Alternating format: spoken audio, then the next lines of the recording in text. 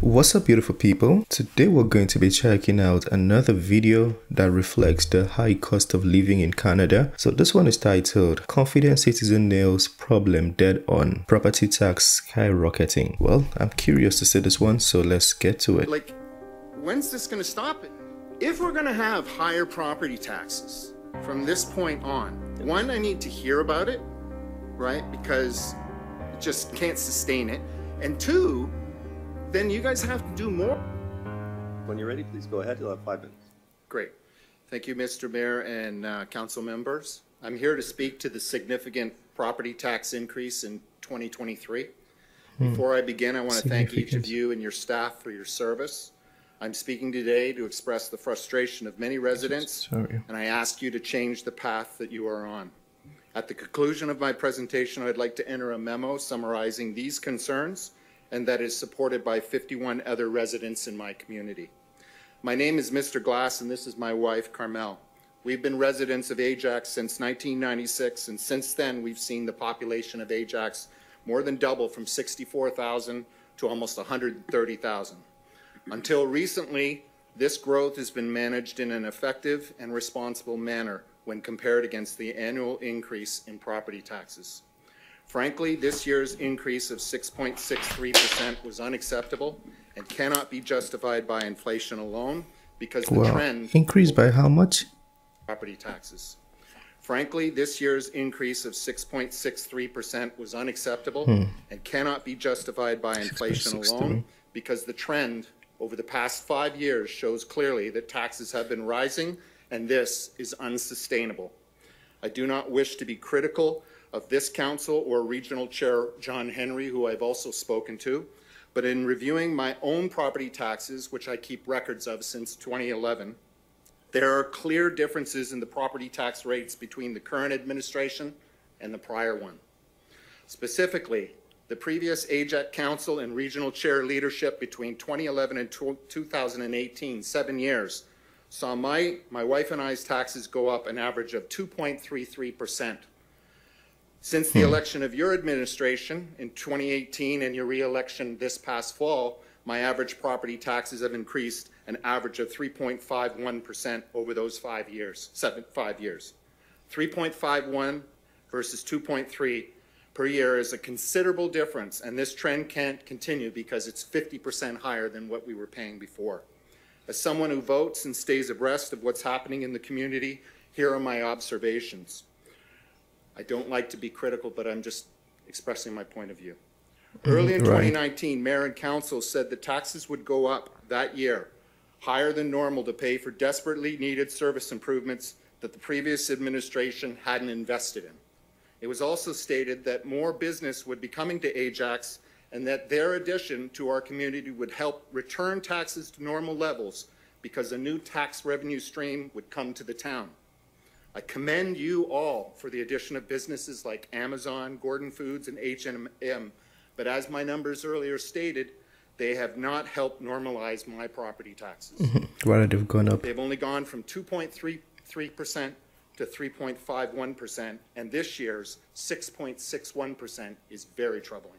Mm-hmm. With respect to the services our taxes pay for, many residents like me and those in our community have feel that it, it has declined.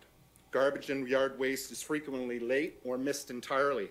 Snow Even with the high tax rate. removal services have also declined, and many in our street, in particular, saw damages to their property this past winter.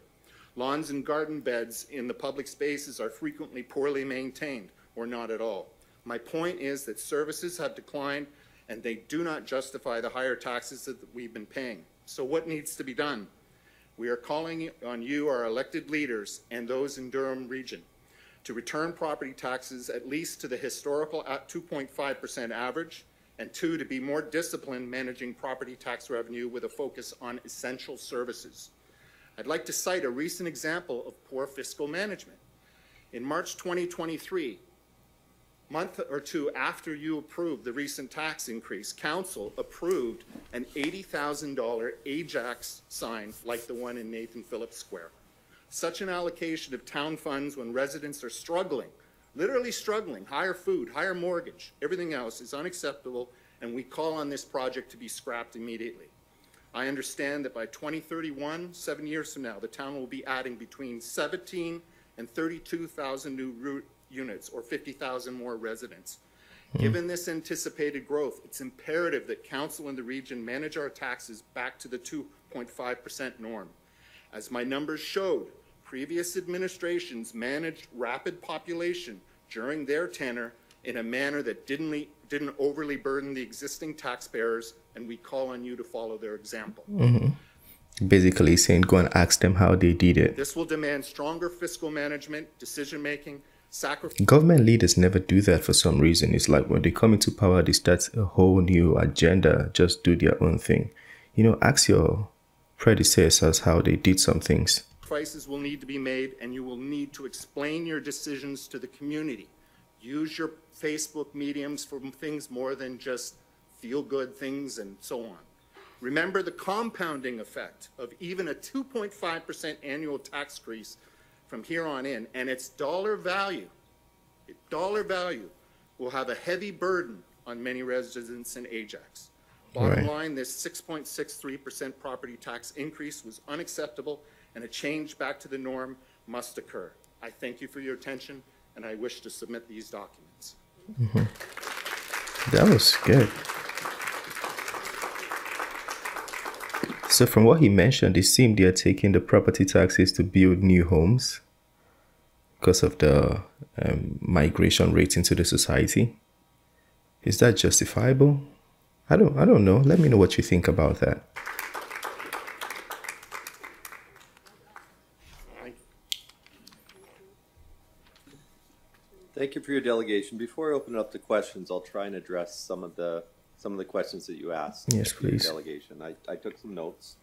I Wasn't texting, I was writing No some of these things down.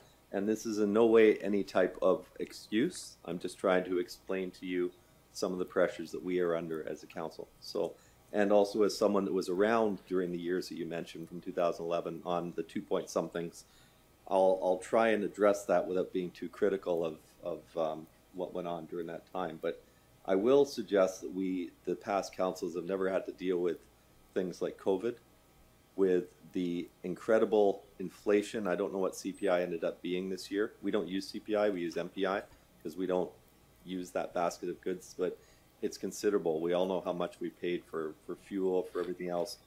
And part of with COVID is is labor shortages, um, uh, supply chain issues, difficulty in even getting staff to do some of our services. So I'll try and work those in, in my answer. In this past last term of council, we underwent a number of plans and initiatives. We did a fire master plan update. The last fire master plan was done, I think, in 2011. It was not implemented. We've had considerable growth.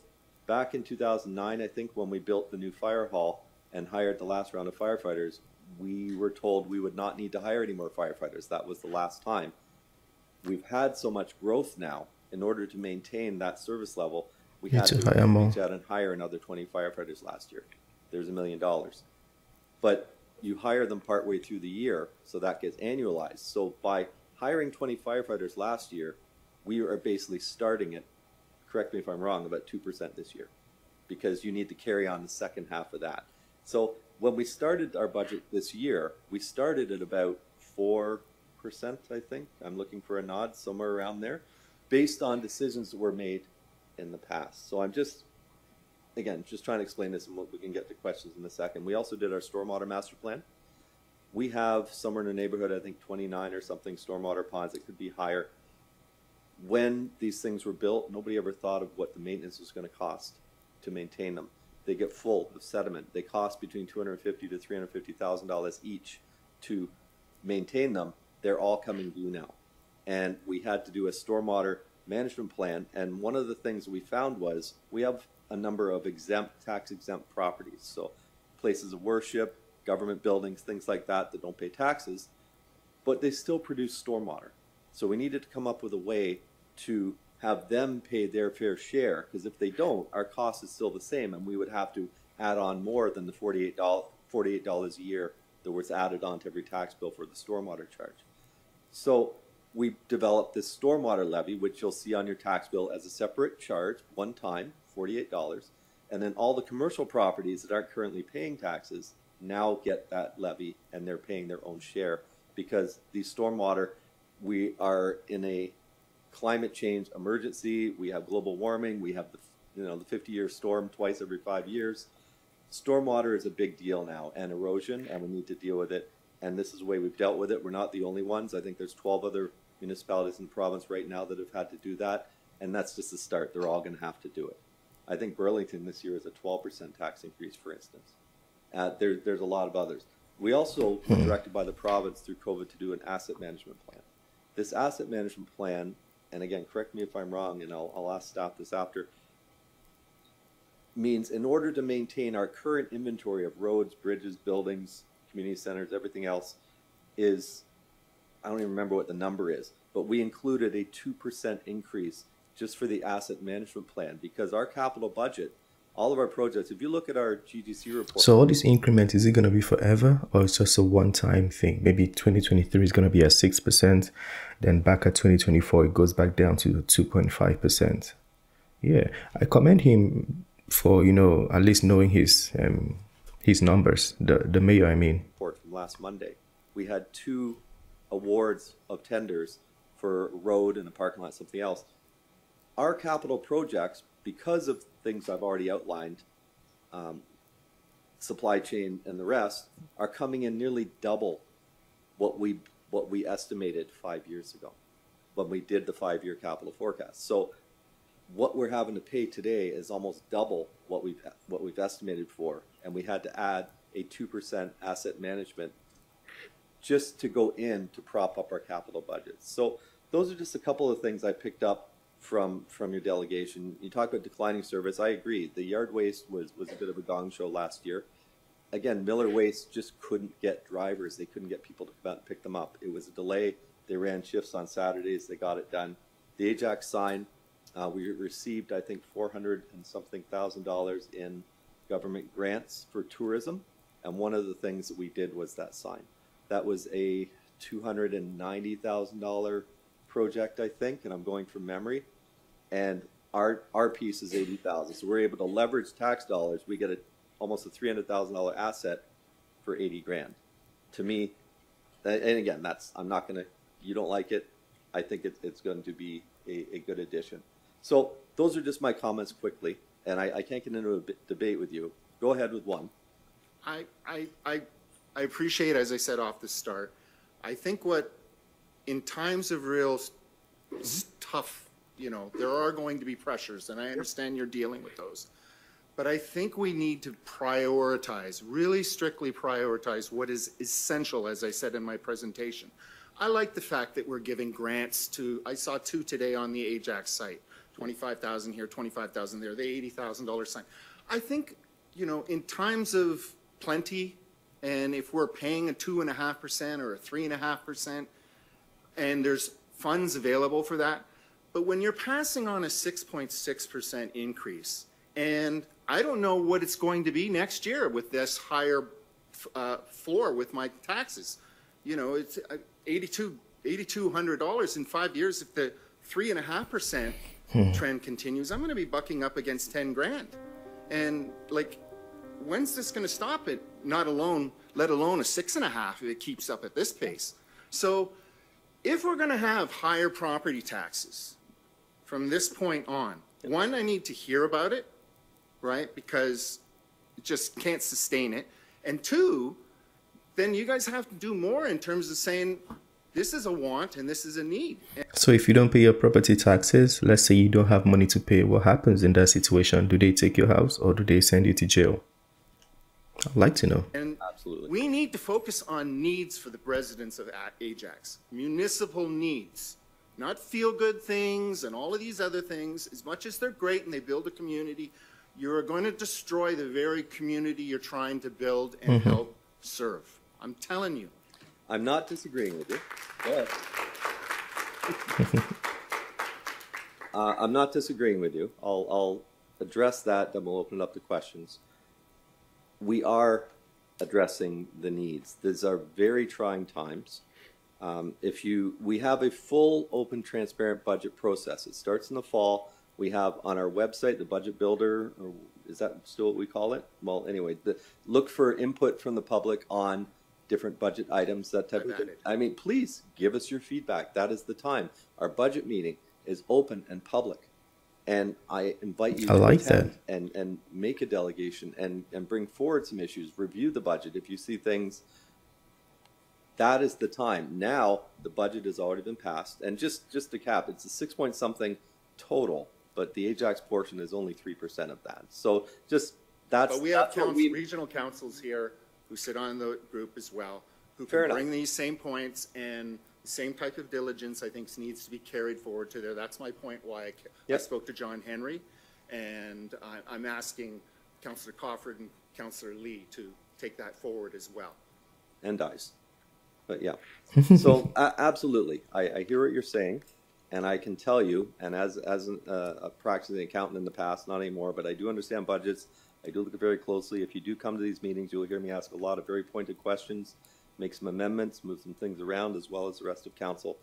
We do do our very best, but it is a challenge, and that's all I just tried to explain to you was some of the challenges that we have, which is the same as what all regular homeowners also have. Everybody is seeing managing your home, the increases in everything, whether Do the mayors have to pay these property taxes too? Because they should also feel it to understand. be the the electricity that you're using, or whether it be the gas for your car, or everything has gone up. Insurance, for instance, interest rates have gone crazy. Interest rates alone account for a considerable amount. Uh, like people who have to renew their mortgages are going to all of a sudden be realizing how high the next one is. We have the same thing on debt that we People are defaulting now. a motion coming late or a report coming later on about looking at different ways to manage our capital budget and looking at potentially debenturing things like fire trucks that have a 15 year useful life rather than buying them cash because we need to figure out ways to make our capital reserves move forward. We brought in an investment strategy. We were one of the first municipalities in the region to have an investment strategy to get our capital, to get our reserves working better for us so we don't have to go back to the taxpayer.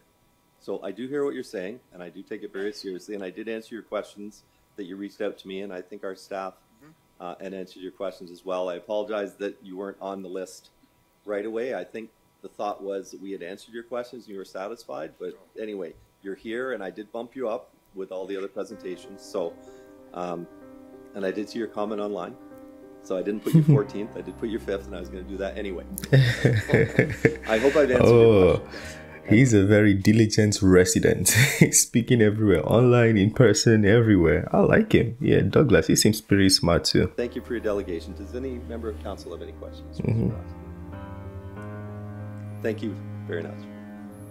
Yeah, that was very good. That was very, very good. It appears there's there's a few supporters. I again, I won't be offended if you don't want to sit through the next three hours of the meeting. I'll just ask you to exit quietly if you if you like. Moving on to our first presentation, item 5.6 now. Uh, 2022 financial statement and audit report. Lillian Chung, associate partner of Deloitte. He has to sit through three hours and answering the questions and listening. Well, yeah, that's a good job. You know, it seems he's diligent at what he's doing and also seems transparent. The fact that he's willing to show the, the finances. A lot of times the mayors and the leaders are not willing to do that. Let me know what you guys think of the, the mayor of um, Ajax, Shaun Collier, if he's a good guy. But yeah, I like the way that conversation went. Um, Douglas asked very, very precise questions and very, very good questions, and it seems um, the mayor knew knew the numbers, and that's one thing important about being a leader. Imagine if he was stuttering when they asked him those questions, then he would look like a thief or he would look dishonest.